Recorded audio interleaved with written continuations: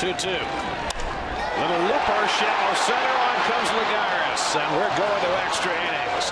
The Reds have the winning run at third and nobody out, and Aardsma miraculously finds his way through. Tremendous job by Aardsma. He gets Frazier on the slider, and we're heading to the to the tenth inning in Cincinnati, tied at two. What a job!